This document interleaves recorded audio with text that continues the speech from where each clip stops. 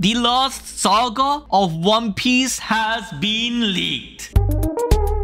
Well, apparently. If these are real, the worst Forum and Redditor Goh D Roger is getting sparked out by Oda himself. But with this insane theory of the final saga, I'm going to break down how it makes sense and if it's actually even possible. This includes moments such as number one going back in time. Number 2. Joy Boy and MD Judas were brothers. Number 3. The world of One Piece started in space. And number 4. Devil fruits are made from haki.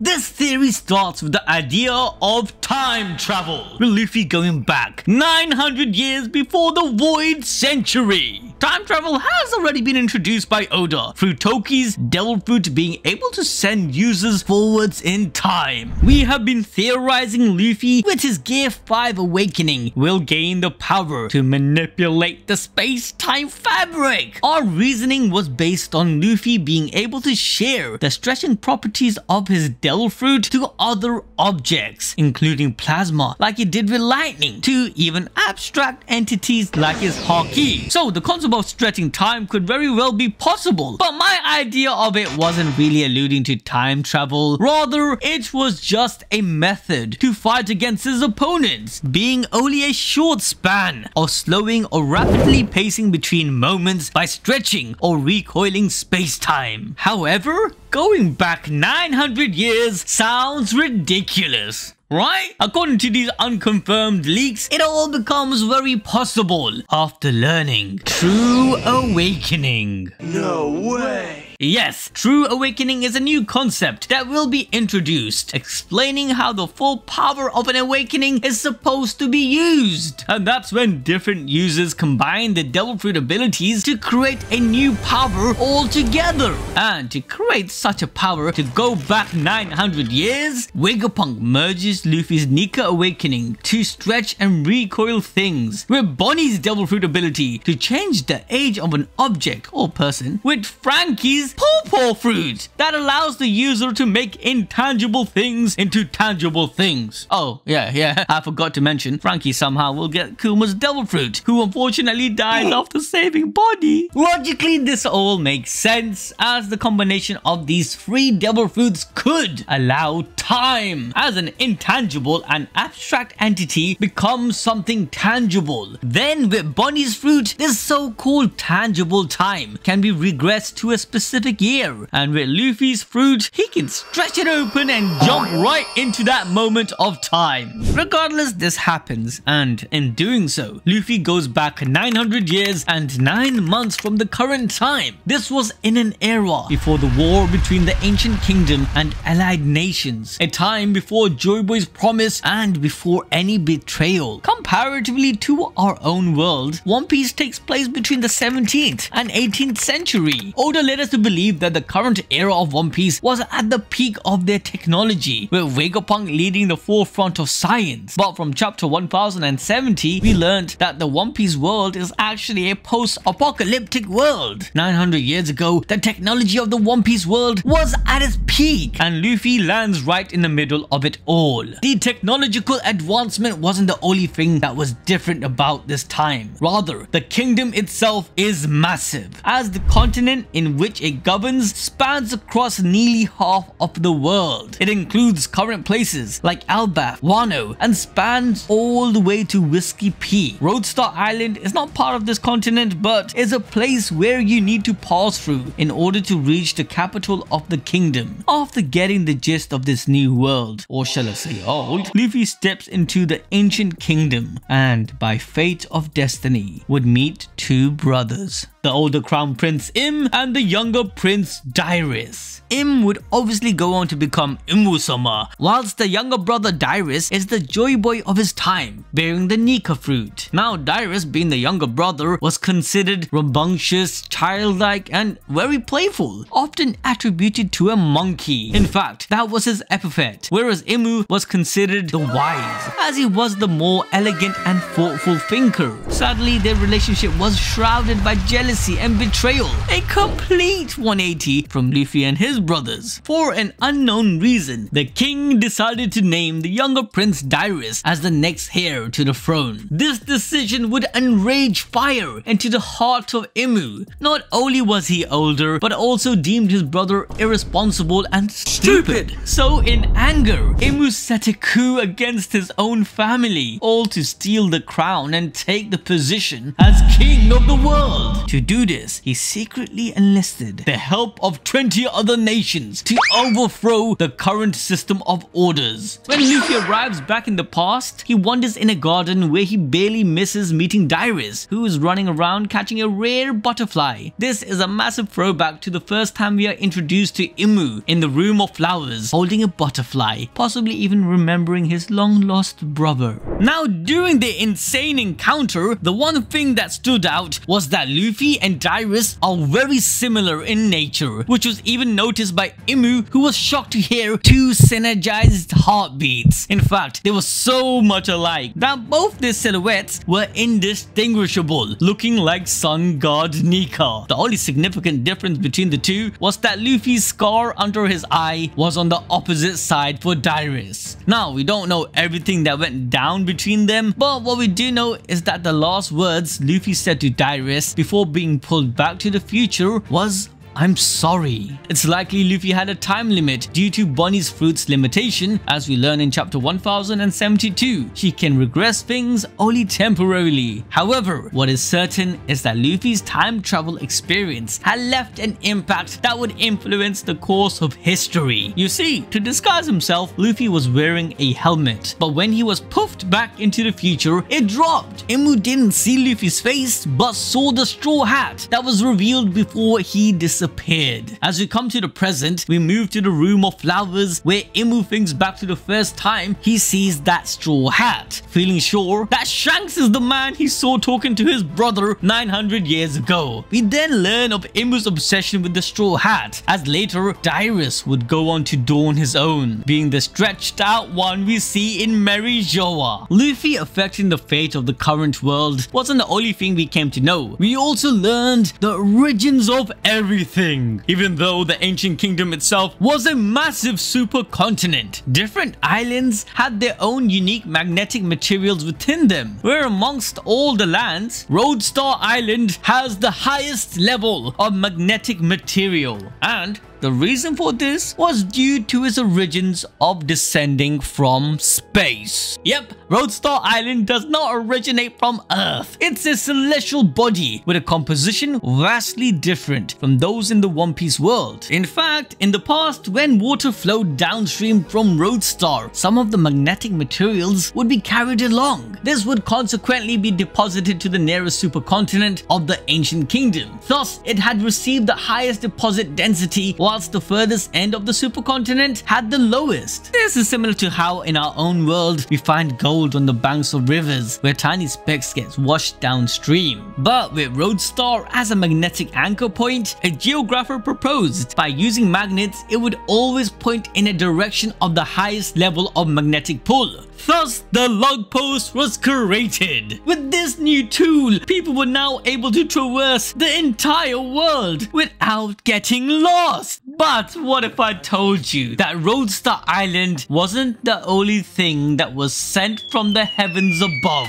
A long time ago, before the rise of the ancient kingdom civilization, the environment was much harsher than the present. But above the sky lived other civilizations on different planets one being a common reference is Fairy Vearth, where the space people originated. More than 900 years ago, a group of the ancestors to the Skypians, Lunarians, and even Minks sailed down to the blue sea below. They descended to the planet within the ship called Uranus, the weaponized spaceship capable of mass destruction using electricity as the main energy source. In fact, electricity played a huge importance to the people of of Fairy Vearth, which would go on to explain the automatas Enel would encounter later on. The Minks were even blessed with the gift of electricity that that saved their species. We can allude their civilization was ending and the people had to migrate. As a parting gift, a baby Zunisha was given to them to bring down below. The other species from space moved to settle in different parts of the world, where the Lunarians chose to make their home on top of the red line. Across the supercontinent, another group of space people saw the sea dwellers living in harsh conditions with lack of warmth, food, and even water. This led to the constant spread of diseases and death. Being a kind group, they shared many of their advancements, specifically special plant seeds from Fairy Vearth, which grew to be the Adam and Eve tree. The Eve tree wasn't originally so large, nor was it actually buried underwater. Rather, the sea levels highly differed from the present time, and due to its constantly seeking the sunlight for more than a thousand years, it grew to be over 10,000 meters long. The benefits provided by the trees caused people to start praying under them. Then one day, a special fruit was born, then a second one, third,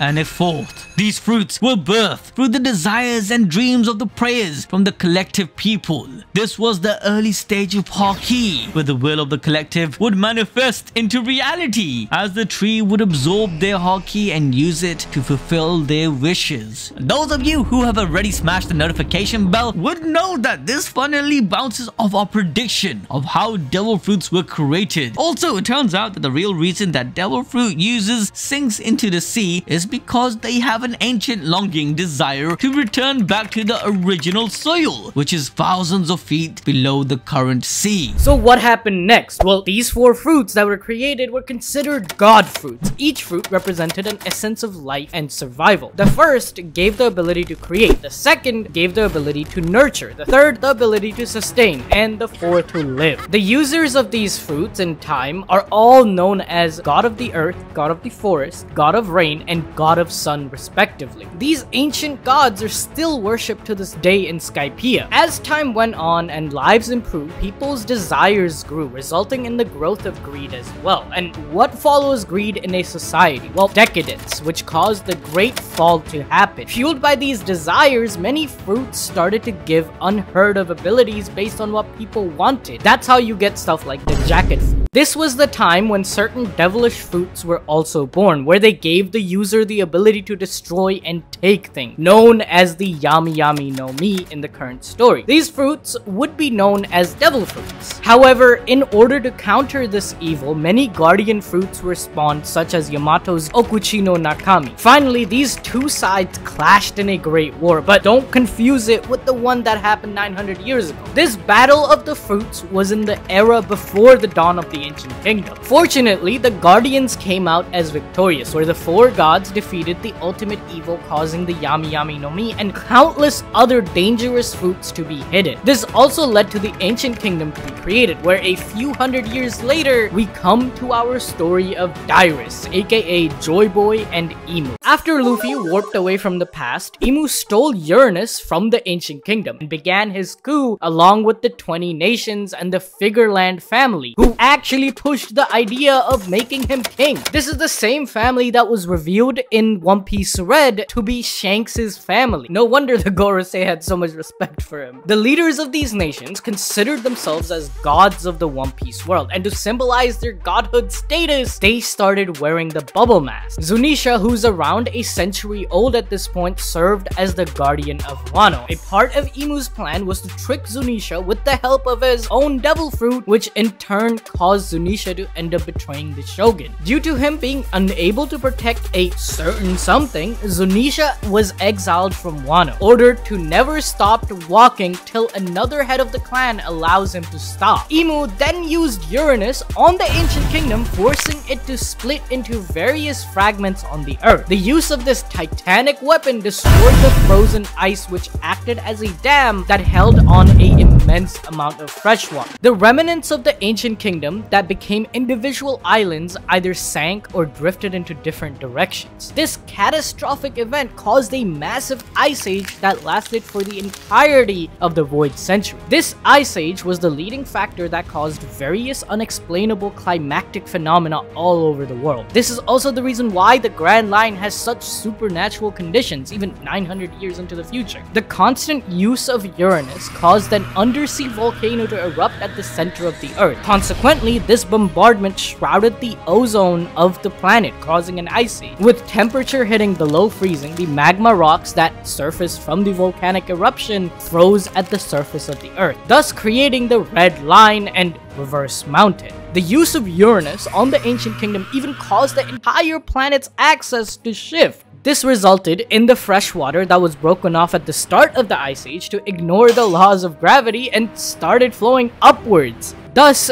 decades later creating the weird upward stream of Reverse Mountain, giving its namesake. As more and more water flowed upwards, the consistent gust of water kept pushing aside the surroundings. And some other anime bullshit science, okay? That's how the calm belt was formed. Trust me. However, the destruction of the frozen ice caused massive tsunamis that launched various materials from the Earth's surface to the sky, bringing about dark, polluted clouds to cover it entirely, including the light emitting from the sun. And hence, the entire world had to deal with 100 years of darkness in the Ice Age. During this time, the previous Poseidon, named Agashi, emerged from Fishman Island and with the help of the giant ship Noah, retrieved many artifacts from the ancient kingdom. One such artifact was the poneglyph that Robin found 900 years later. This poneglyph was a letter sent by Joy Boy to Agashi, apologizing for not keeping his promise, which was to destroy the red line and bring the water level down back to the original level so that the sun directly shines on the people of Fishman Island. This puts forth a notion that Fishman Island was the original sea level 800 to 900 years back and that the sea forest was originally on land but sank due to the rising water. In a follow-up letter, Joyboy promised that a certain individual will come by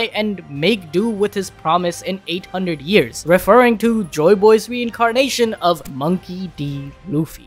Though from here on out, it is unknown what happened to Dyrus and how he succumbed to his older brother, but what we do know is that rumors spread at the time that Joyboy would return due to the poneglyphs spreading across the world. Imu, afraid that his brother would come after his seed, started an era known as the Great Cleansing. Wano also closed its borders to protect Pluton from Imu, which was the only remaining weapon left behind by the ancient kingdom. The world government was then formed, where immediately after Marie Joie was built atop the Red Line, with 19 of the 20 leaders of the kingdoms moving in along with Imu. This was to represent that gods always ascend, so they were seated at the highest point of the world. Around this time, the immortal surgery was performed on Imu with the help of the Ope Ope no Mi, and thus made him immortal. During the 100 year Ice Age, or as we know it, the Void Century, many of Joy Boy's allies were hunted down and executed. Dyrus's nickname Monkey was then passed on to his descendants who used this epithet as their family name, all to avoid causing any suspicion on themselves due to the mass cleansing. It's also implied the followers of Dyrus would add a D to their name and their family's name so his will can never be forgotten, hence the will of D. But the Great Cleansing caused deaths on both sides, as Dyrus's comrades took down many allies of the 20 nations as well. Furthermore, due to the 100 years of cold winter, the dead bodies from both sides did not decompose, but rather froze. The bodies of certain known individuals were honored in secret. However, when this news reached the ears of Imu and the world government, Imu instructed his advisors to steal these bodies away and store them in the giant freezer we see in Marie Joie's basement today. But not only that, only a certain man made the energy source that could literally power Uranus. Yes, the godly power of the ancient kingdom was only able to operate through this energy source and when not in use was stored in the giant freezer. But before we can get into the details of this giant freezer and what exactly Luffy did after going back to his time, why not watch this video and click the notification bell to be prepared as soon as part 2 of this massive theory comes out.